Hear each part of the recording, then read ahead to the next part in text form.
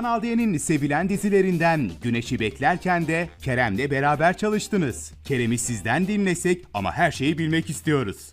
ya Kerem bizim gerçekten e, canımız ciğerimiz. E, oyunculuğu zaten artık tartışılmaz bir noktada. E, çok dünya standartlarında bir oyuncu.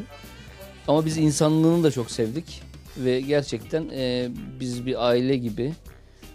Yani yönetmenden çok böyle abi kardeş gibiyiz yani Şükrü'yle de öyle. Peki ya Şükrü Özyıldız? Şükrü setin yaramaz çocuğu. Setin haylaz çocuğu sizsiniz demek Şükrü Bey. Neden Kerem Bey dahil herkes sizi setin en yaramazı ilan ediyor acaba? Ya benim çok içim dışımdır galiba. Bilmiyorum. Bazen o yüzden sıkıntılar yaşamıyor değilim.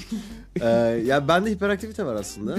Bayağı. Ama yani gel küçükken e, ama öyle gerçekten. Küçükken bana hani herkes derler ya işte benim çocuğum çok hiperaktif falan.